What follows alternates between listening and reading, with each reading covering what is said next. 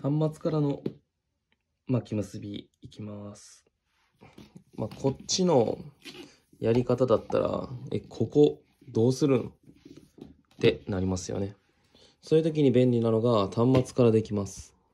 ぐるっとかけて、次、えーこっちの本線ですね。本線にバッテンになるようにかけてください。バッテンを作ったなら、ぐるっと下から持ってきて、あとこのバッ点の間に、この端末を通してあげると、巻き結びができます。まあ、2種類ですね。